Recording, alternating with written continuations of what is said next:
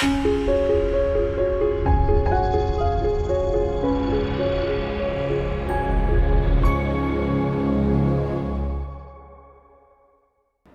me uh, start by saying uh, thank you, um, do a little introduction. My name's Ryan Pratt. I've got with me Justin Flude and uh, Mike Vander Pluym. We're all from a company called uh, Peak Six Investments. I'm the CTO of that firm, and they're both uh, senior developers within uh, the capital management business, which is part of um, the proprietary trading business that's part of that business. Um, we are here today to give a presentation in particular around a system that we built over the last several years that deals with high, or high bandwidth data and uh, low latency systems. Um, some of those latency systems we've written in, in Java, some we've written in C. We're going to go through the various areas where we picked and why we picked those things. Um, and as you can see, we, we have sort of a parenthetical renaming of our talk, which is drinking from the fire hose without losing a drop which is maybe a better uh, explanation of what the problem is that we're going to walk through. Um, let me set the stage to begin with. Uh, when we first started uh, dealing with or finding out about the problem that we ended up uh, building all these systems around, was around late 2013, and uh, we realized we had spent the last several years building up uh, a, a, new framework for how our overall trading system worked. We'd made a lot of use of Java, and along the way, one of the things we built was a new feed dissemination system. Um, feed dissemination being so all this market data that we are listening to and using as part of our business and we have a bunch of systems that need to get at that data and do various things with it. And we wrote some stuff that would parse it and, and hand it uh, out to all the systems that needed to use it. We had not correctly anticipated some of the changes that were going to happen with the markets, though. And in particular, one of the things we had decided from a design perspective was to disseminate the, the, the data using uh, TCP, which had its benefits. We needed reliable delivery of this stuff, and uh, we wanted to try to keep things as simple as possible. And we had in previous iterations of building things used multicast and tried to use various things for reliable multicast and had run into a bunch of problems. So we got very clever and we made something that conflated and compressed and did all this fancy stuff and we thought that we would be able to manage the amount of data on our network by, uh, while still being able to use TCP. Well, 2013 came along and things really started changing. They, they'd already been a little bit on a, on a move in the previous years, but uh, it, they, they started sort of ramping up in 2013. And the big thing that was happening were the options markets were fragmenting. And it really wasn't just the options market, but for Peak 6, that's where primarily we focus. And by fragmenting, what I mean is there was a lot of new exchanges coming online. Uh, when you go back to 2008, there were seven-ish exchanges, uh, although one came out that year. Um, and by today, there are 14 going on 16 by the end of this year, options exchanges. And what matters around that is that every time you have a new exchange come online, the only thing you're sure of is that the amount of data you're going to handle is going to go up you know, roughly you could say double. I mean, it's a little more complicated than that. And, and it doesn't mean that there's necessarily more opportunity from a trading volume perspective because really all you're knowing is there's another place where there are orders and quotes for the, for the uh, instruments for which you might be uh, trying to do trading activity on but while there can be more quotes for those things, it's not necessarily uh, going to cause any more actual trading activity.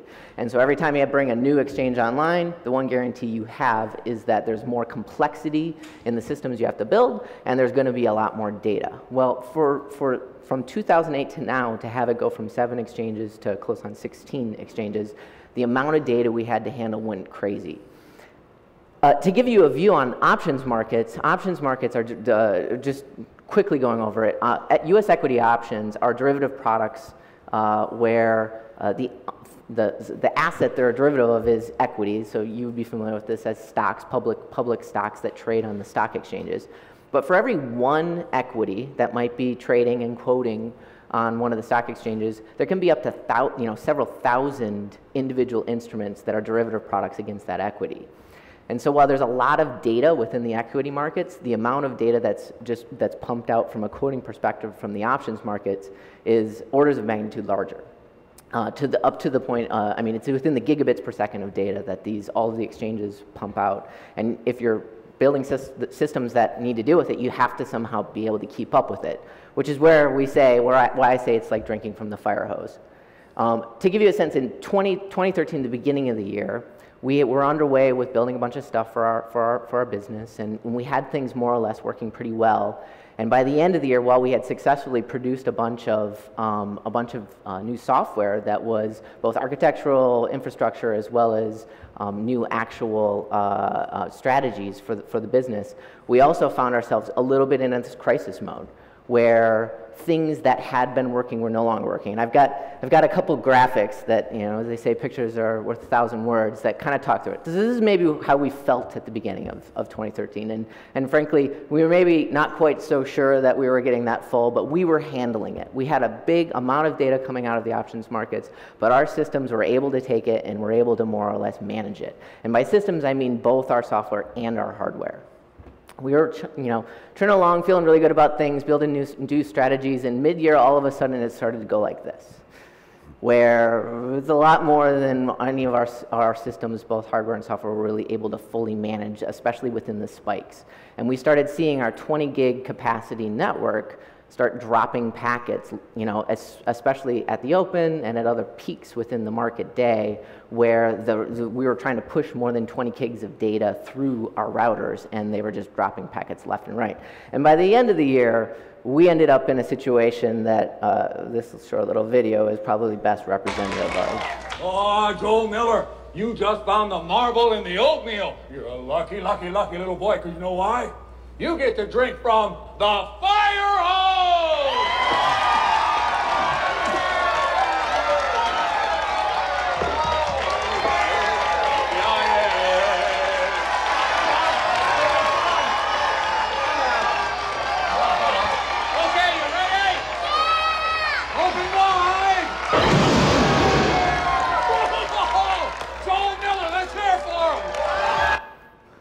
So yeah, it was, it was a little rough. And, and, and, the stuff that we were writing that had, that was basically, was fairly representative of how things were starting to go, it was the core of our business.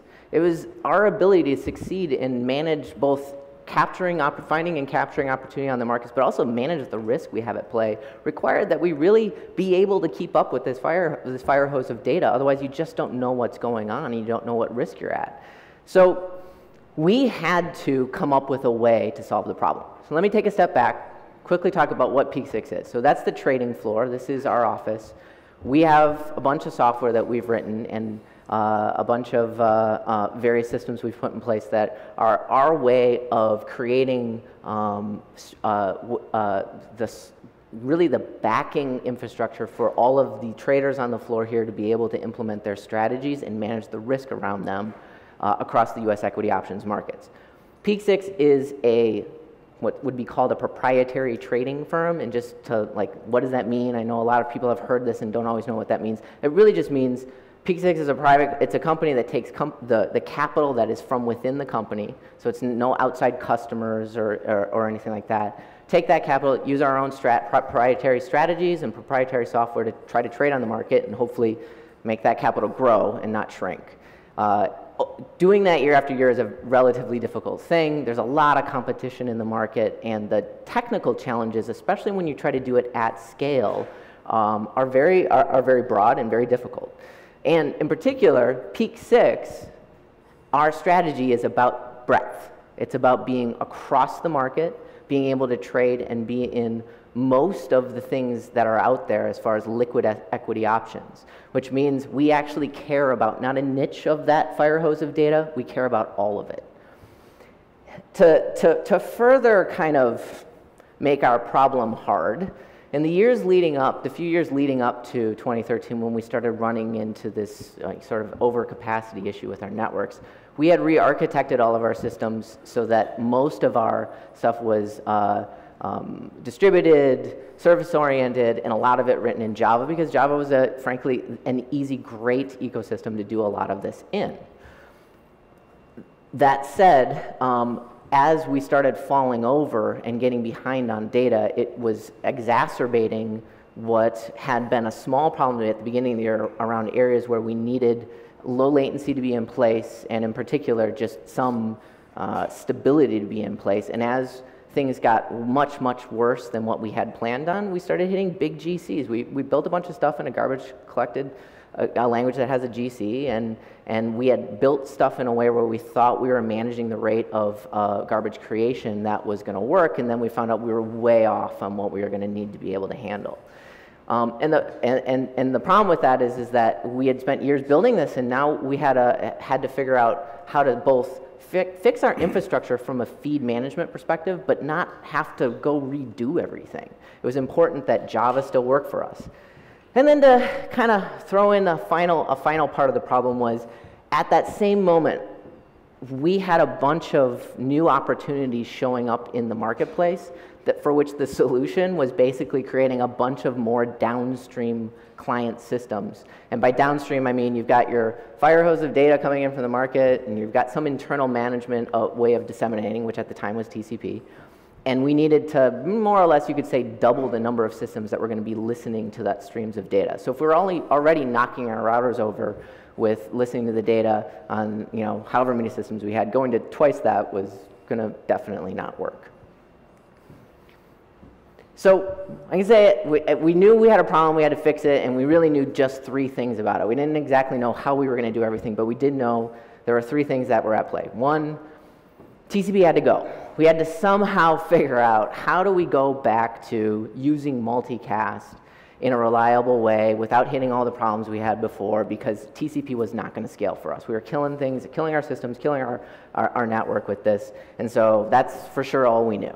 Number two, we knew that Java had to be a part of our platform. We had to figure out how do we make it so that we can stay within this ecosystem, scale it out, manage the various different types of needs across all the systems we had, both where there was true very low latency, and, and if you're in Peter's talk before this, you, you, low latency means a bunch of things, but in, in our scenario, there were some systems that we needed to be sub-milli, a very small number, consistently sub-milli. There was a few more that we need consistently to be in single digit millisecond management on, and again, consistent. So every time, no matter what, all day long, we can count on end to end, this thing from there to there was going to be one, you know, single digit millis. And then we had a ton of stuff where it was higher than that, variable, you know, up to 100 milliseconds. Who cares? You know, like, I mean, not totally who cares. I mean, if you get into half a second or more, we definitely care, but a lot less stringent. But we had all this stuff and this breadth of things going down to even sub-milli, and we had to make it work. Otherwise, we were looking at a multi-year project and not something that we would be able to actually make the business thrive, let alone tackle uh, the new opportunities uh, that were coming our way. Third thing we knew is we had no idea. We had learned our lesson. We didn't know what was going to happen. Scale was going to be just part of the game. It could be 2x, 10x, 100x, who knows. And that meant from the data coming in upstream, and it meant potentially in the number of systems we put uh, in play downstream. And so we had to make sure that the architecture we went with would actually work no matter where that led. So we ended up building this thing that internally we called Feedster Caster and I'm going to initially just jump to the end. That's the picture. There's no way we go through all of that, uh, uh all of this in this talk. There's a bunch of components to it. We're going to, for the rest of this talk, just pull out the few pieces of this that I think are the most interesting. Uh, certainly the, thing, the areas where we learned the most from and where there was potentially some of the most uh, fun, innovative things that we got, we got to play around with. High level though, what's going on here is got a bunch of data coming in on, on you see there's that little line in the middle. You can consider everything on this side of it to be the server side, the side of the things where you're managing the raw feeds from exchanges. And everything on the other side is effectively systems that are downstream. So you have the stuff, you know, multiple servers partitioning the world of what's coming in from the exchanges something called feedster that we did write in C++ that is parsing that raw feed and then basically writing it down into a shared memory file. Then we had another thing that's sitting on that same server as the thing parsing the raw feeds that is written in C, and it is taking the data out of the shared memory file and just broadcasting it on the network. On the other side of the line there, you've got all your client systems. There's another little guy written in C that's listening to that broadcasted data set basically doing the inverse of what the sender's doing, taking it, throwing it into a shared memory. Then you have however many apps you might be running on one of those pieces of, of hardware uh, that's on the client side that's accessing this data, the internalized uh, market data, out of that shared memory store. And that's pretty much it. That's all there is to the overall sort of high level view of what we, what we did. Now, the real trick was how do you make it so that that transport mechanism from the server side, where it's taking out of shared memory, broadcasting it out, and then getting down to the client side, how do you make it so that it's reliable? Because again, we're, we're giving up on TCP. And so, we're, and, and so we're, the, the network protocol itself is not going to guarantee us that we see things in order, let alone see them at all. But we need it. We have to, we have to make sure that the client side of things actually does see everything. And so we had to come up with a way to solve the problem.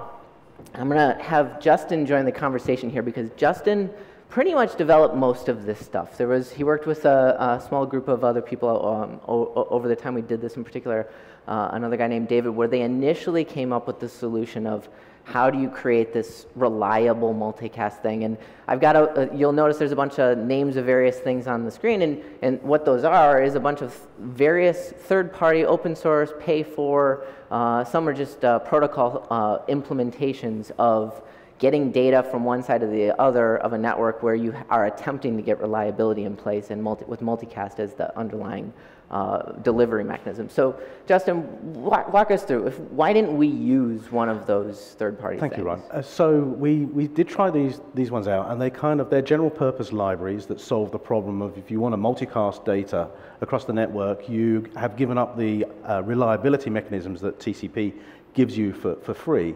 So the way these systems work is that they essentially keep a copy of what has been sent over the network, and when somebody listening for that data indicates through what's called a negative acknowledgement, a NAK, that they didn't receive that data, the data is retransmitted to, uh, over the network to give the, give the client the, uh, an, another chance to, to, to, read it. So, so we tried these, these uh, systems out because they were kind of a little bit like a drop-in replacement for just our networking code. They didn't require us to change an awful lot of the actual kind of application to, to use them.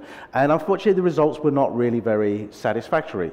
And one of, one of the, the, main issue that we had is that once the kind of uh, bandwidth of the incoming uh, exchange feeds increased and the network started to drop packets, um, the network would quickly become overloaded by the negative acknowledgements, by the NAKs themselves. So in other words, the bandwidth would spike, and this would cause some packets to be dropped, whereupon the clients would request, please send me those packets that we dropped.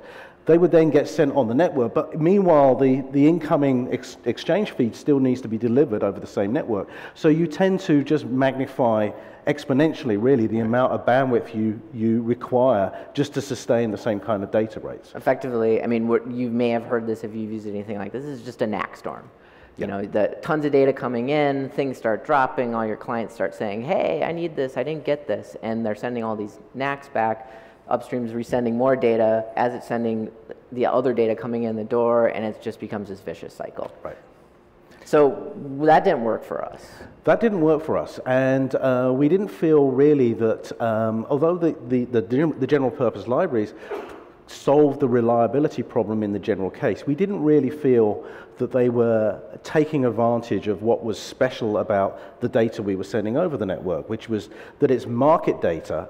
And with market data, you're really just interested in the most recent message or the most recent values for, for something. You're not really interested if you've dropped some packets in reconstructing what, what was the case a few seconds ago or even a few milliseconds ago. You really just want to know what was the very latest piece of data you've received uh, for Apple stock or the price of a Google option. Right. So, so the one, one thing that is different is, is the, these solutions that you can use are very general purpose. Mm. They are I'm going to try to give you reliable delivery of packets. I don't care what is in the packet. I'm just going to try to say overall mechanism. If you drop a packet, ask for it, and I'll give you that packet if I still have it. Which, by the way, the, the upstream doesn't can't hold infinite number of back, backlog of, of, of packets. Right. So that at some point, some client who's slow enough might say, hey, I missed this stuff. And the answer is, well, too bad. We don't have it. No reliability for you. And so, so one thing that I'm going to flip to the next slide on, which was really this aha moment, I would say that, that Justin and, and the team working on it came to was we don't have to solve world hunger. We don't have to solve the general purpose solution.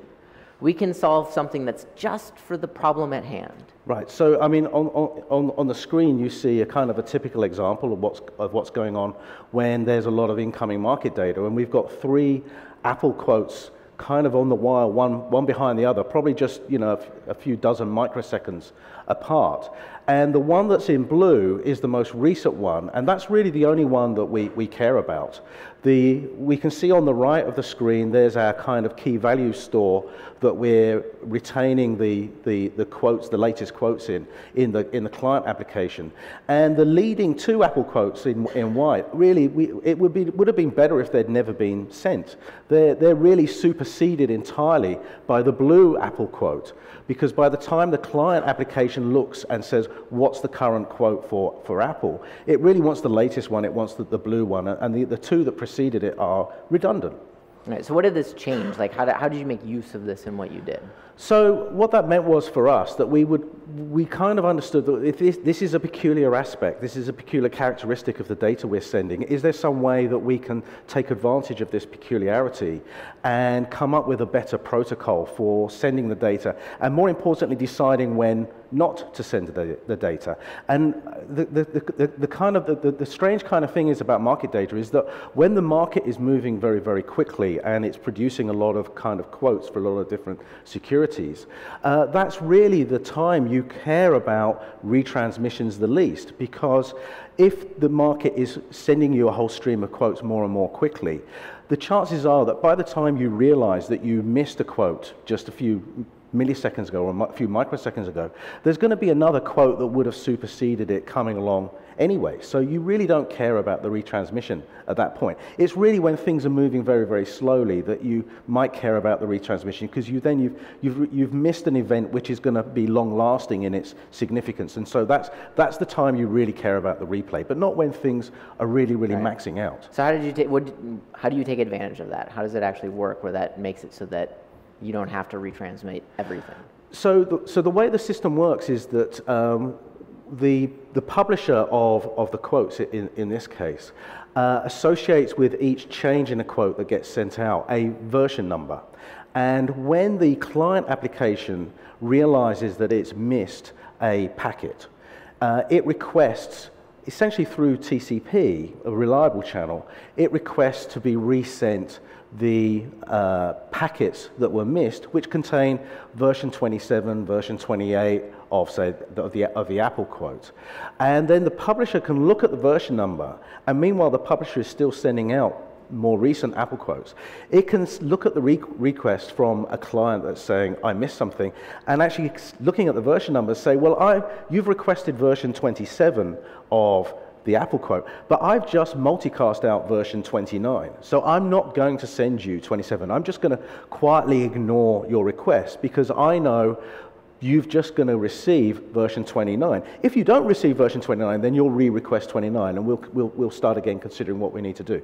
But essentially, the, the publisher realizes that it can avoid uh, honoring retransmit requests because it knows it's already multicasted data that's superseded that, right. that request. So, so I mean, the, the, peculiar, the peculiarity of the data is really that it, it, has a key to it. And if you can version the data that you have on a key, your, your back channel is basically able to know, I already sent, I've sent That's you right. the more recent one, you don't, I'm not, I'm not going to send this to you. That's right. And, and, the, and, the, and, the, and the beauty of the protocol is that the, the more you drop packets, because the network is multicasting more and more data, the less retransmissions you actually need to recover from that drop. And so there's a kind of built-in dampening effect in the, in the protocol. When you, un, unlike with the general purpose libraries, the more you dropped, the harder it was to recover. With this, the more you drop, the easier it is to recover. Right, and again, it's because of the nature of the data. We knew the data and how it behaved, and we're, and we were able to sort of, at least in theory, and this is, you know, as we built it, it was all like theoretically this should be true,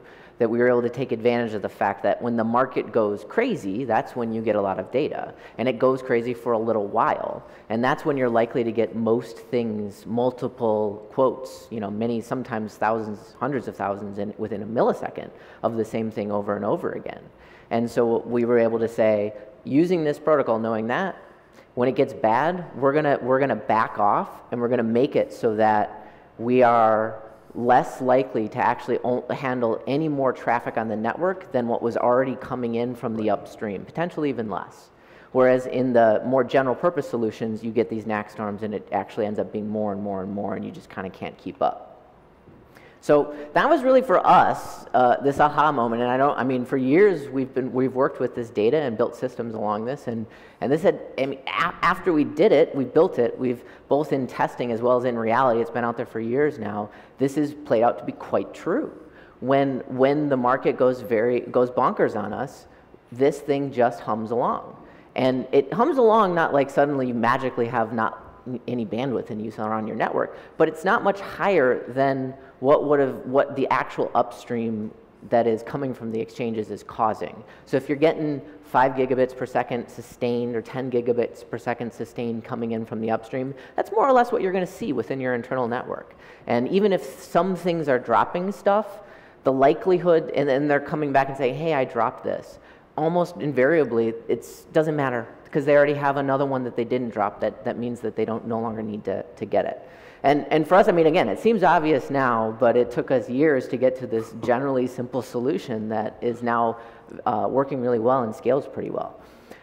But so, so we get this protocol in place, and it's great, excellent. We're able to actually get a bunch of data from the upstream stuff that's handling all the exchange data and push it out to all these machines. And it's on multicast, so we can scale those downstream and it's not going to cause, uh, generally going to cause uh, further issues with copying data and overloading our, our, our, routers and whatnot.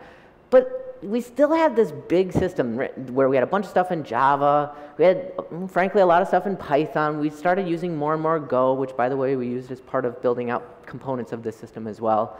And, and we needed all those things to be able to interact with this data that we were now storing in shared memory. Um, oh, and also we wanted our stuff to be able to continue to optimize the hardware we had in place. So, and by, by that, that would mean that, that we wouldn't have to end up having, uh, if you've got five apps running on a piece of hardware because the apps themselves are not doing a ton, they wouldn't each need their own version of getting this data sent to them. And so that was a problem that we had to solve, and, and we had to do it in a way that would some, you know, somehow make it relatively easy for all these apps to integrate with this. So uh, you know, Justin, I'll let you kind of talk to what do we do? Right. How do we solve it? So, so having kind of solved the redundant copying problem on the network, we didn't really want to reproduce a, a bunch of redundant copies on the client machines where we've got multiple applications in different languages, as you say, trying to access this data. So the obvious solution is, is twofold. How can we avoid redundant copying, uh, which would be the case, for instance, if these guys were opening a, a socket or a connection to some service on the machine and requesting data. So, uh, we avoid that problem by um, using shared memory.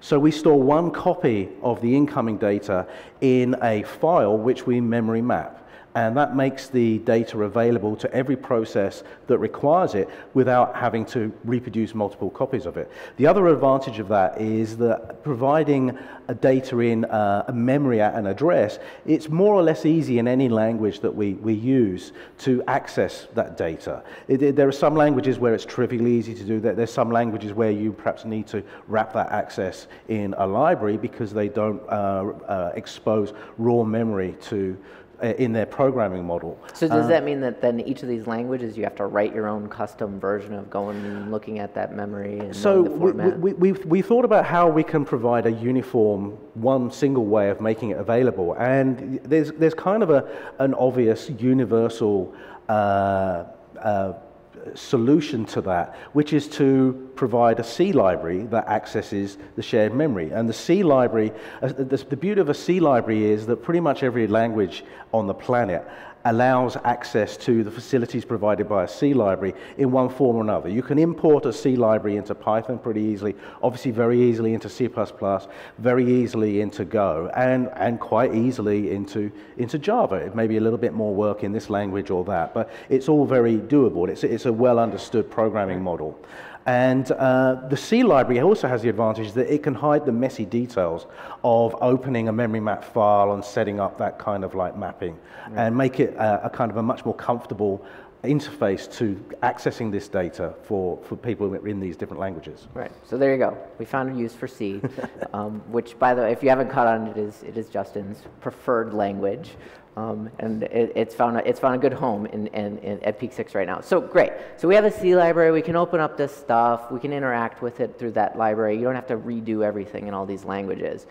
But let's talk about Java. So obviously, I mean, if, if we've got people who are writing Java out there, certainly who, if you haven't uh, done much or any off-heap stuff, the first question maybe is, well, wait a minute, how, how am I going to access this shared memory stuff from Java. Like that doesn't, uh, it's not something that's naturally uh, offered up to the API. It's, it kind of falls out of that, uh, that realm of write once, run everywhere.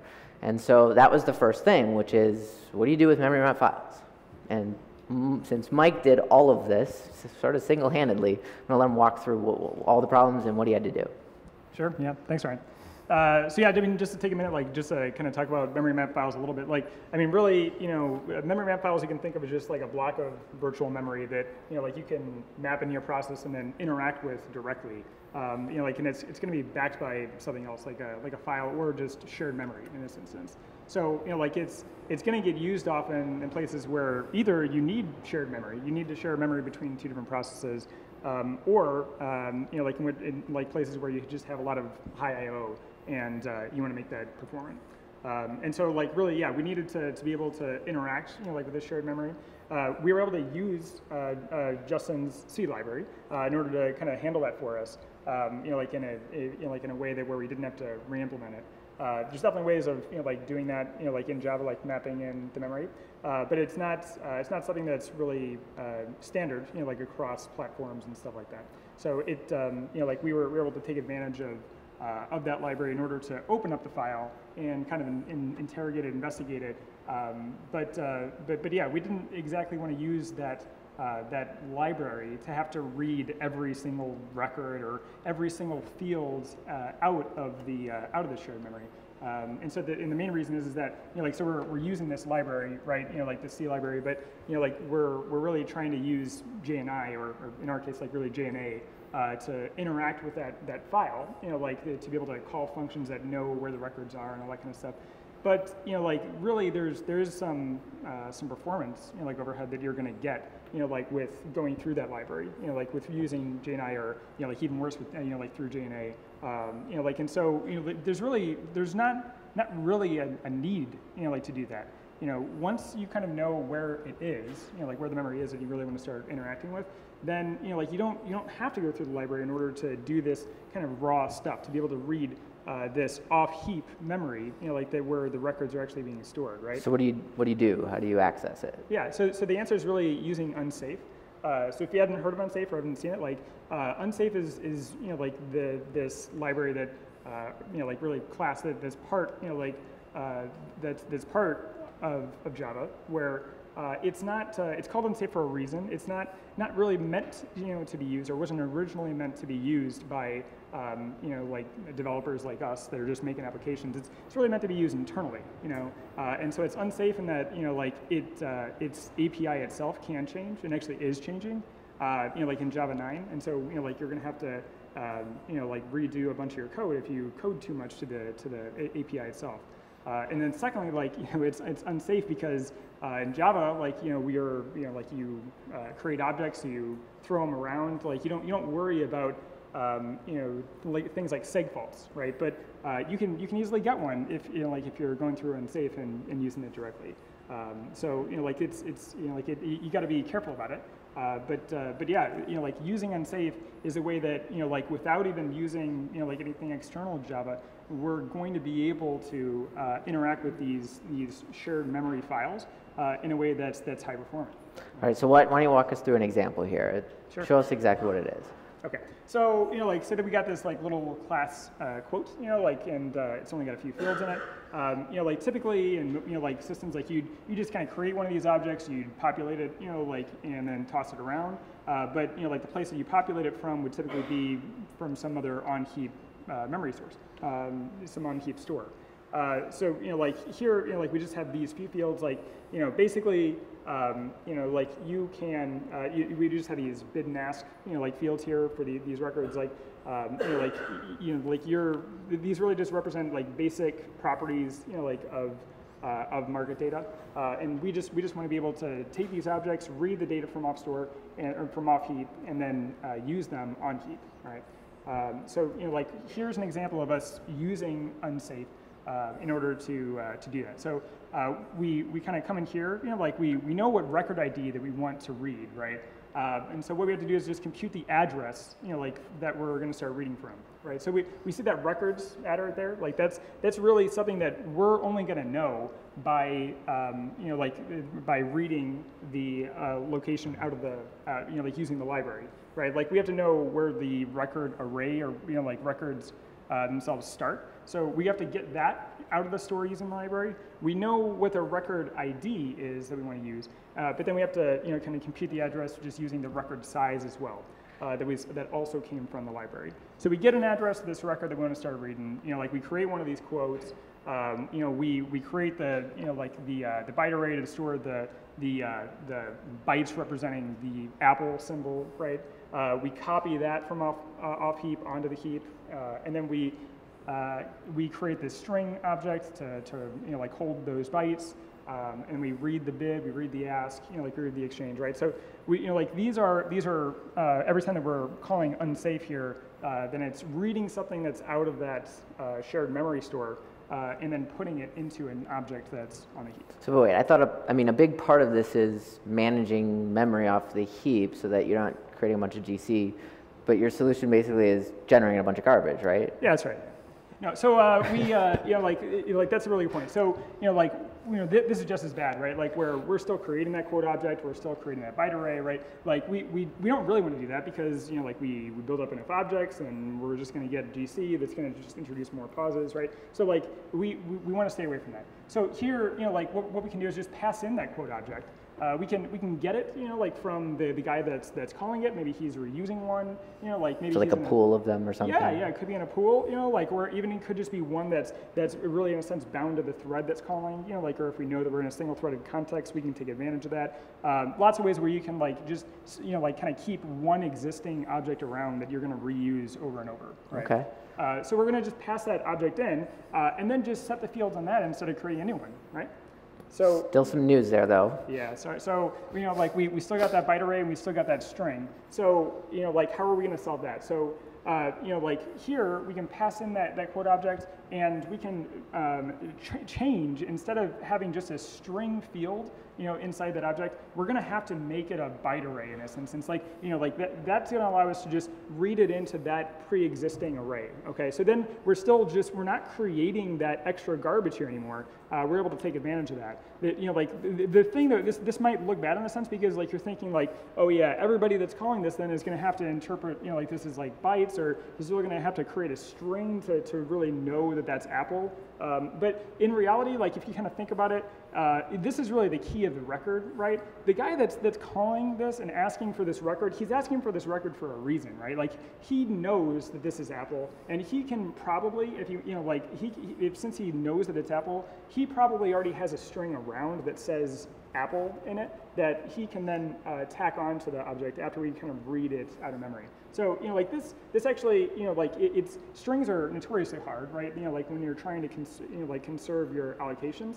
But um, you know, like doing doing stuff like this will help. Where you know, like it, it's it's okay to kind of use it for keys and in context where you know what the data is, because you can then go and reuse those strings. Right.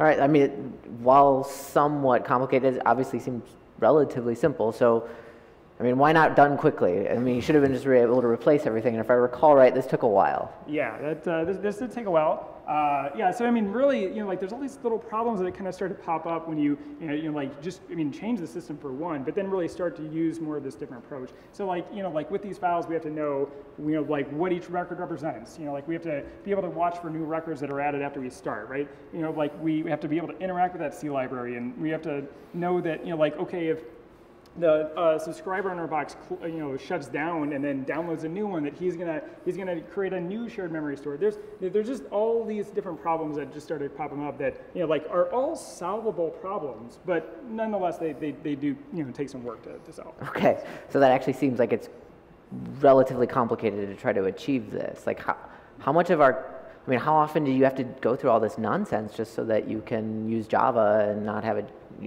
GCing like crazy with this amount of data. Yeah, I mean, not not as much as you would, you would think. Like, so I mean, really, this is the 10% of our code that, that you know, like we really need to, to kind of optimize around and like uh, and and to, to kind of make very very quick, uh, very fast, right? But I mean, like the, the rest of our code, like you know, like the 90% of it is you know just you know like it's not it's not written to you know you know like avoid allocations this this uh, intensely and all that kind of stuff.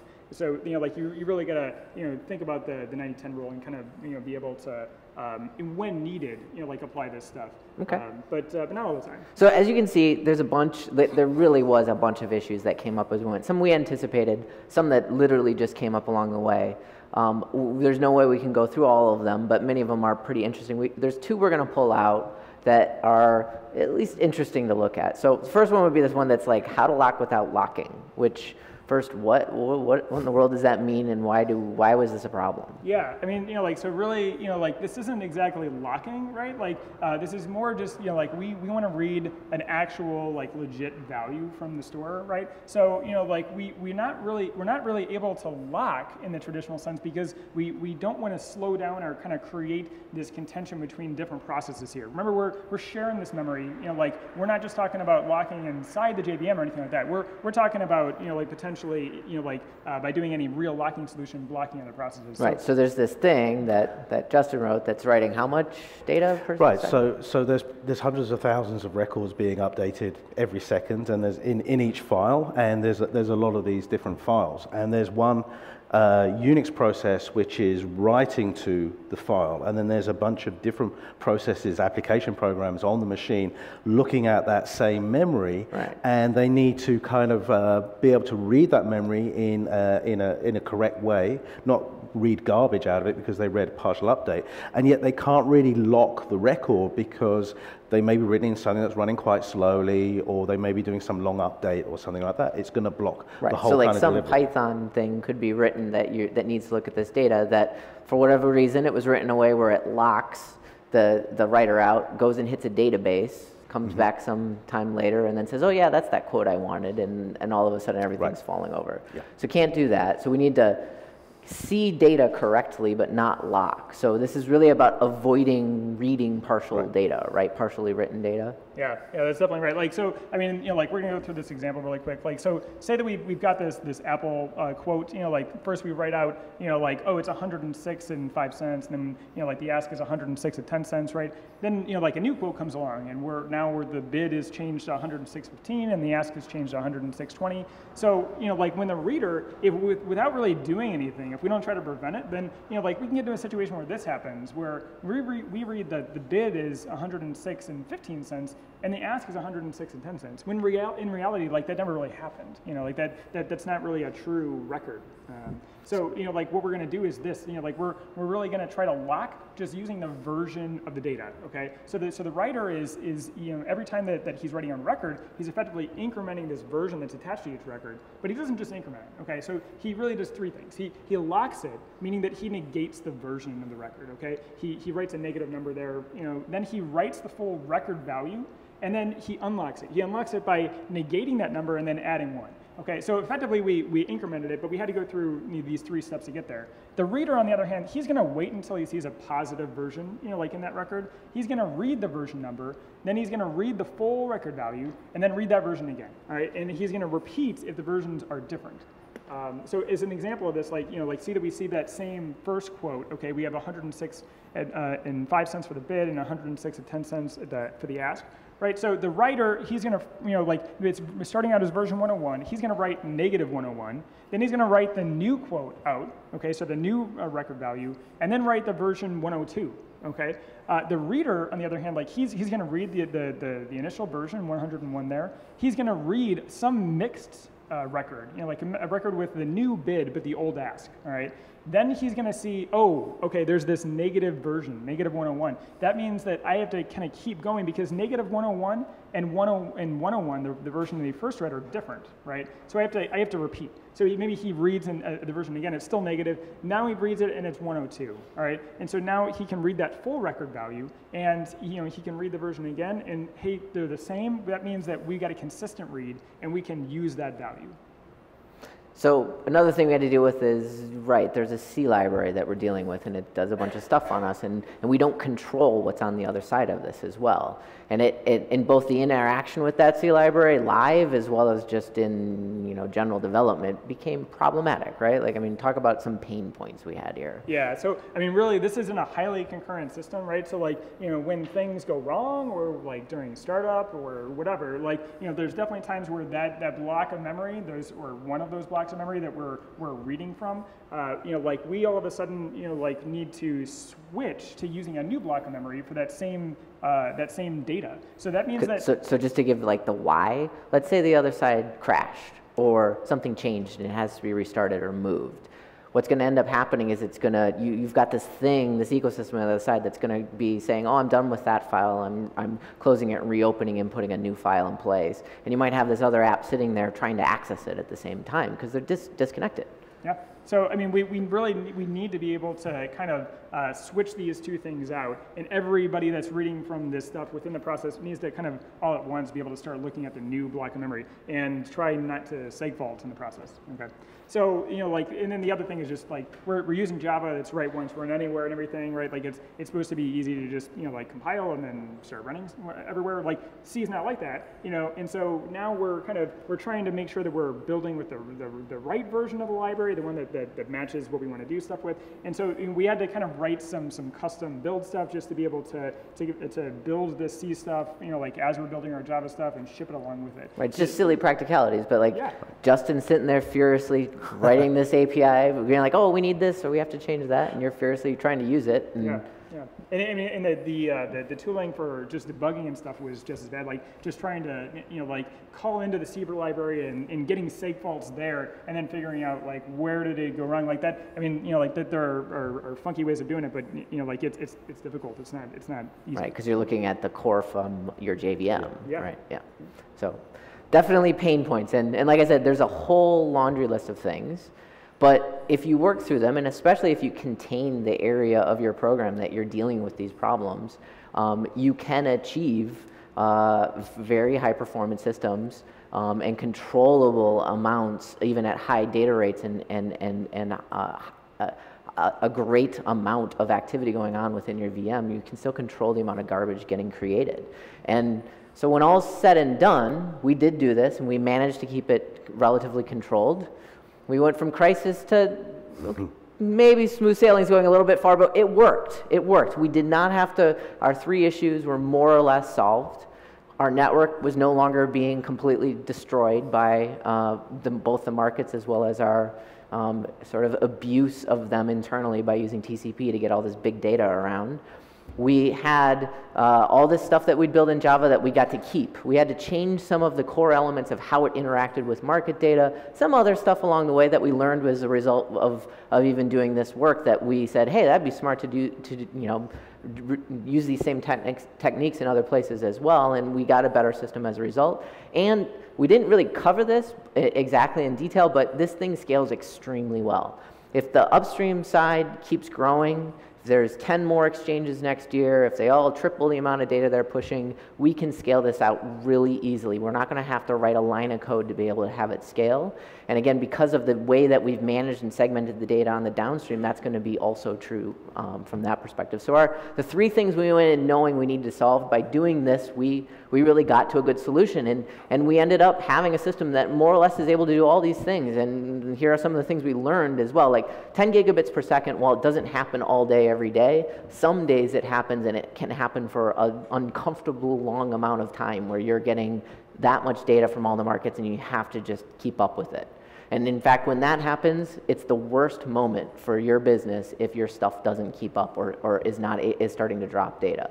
And it's the highest opportunity for you if you build stuff that actually can keep up with it.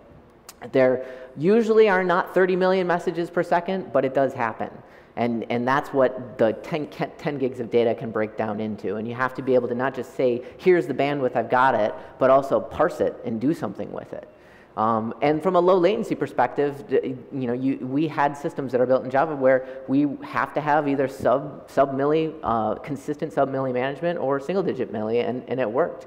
We, we also did a bunch of other things along the way. We used Go for parts of this. We didn't go into it in this, but we're really finding that it's a lovely little language. And there's a bunch of things about their philosophy on, on keeping things simple that works. And we, everything we've tried to do with it has, has ended up being pretty fast, pretty maintainable, and definitely a more on the fun side of things to, to, to work with. Um, as we said earlier, C is still there, C is still fun. Mm. C++ is still around. We did not fully get rid of it. Um, I, I, you know, there's definitely a little bit of a love-hate uh, amongst people in, in, in, at Peak 6 around where we have C++ in use, but it has a home. Um, and more or less the way we built this, it, it, it, achieved goals across optimizing hardware and working across all these languages. And that is pretty much it. Yeah, thank, thank you. you.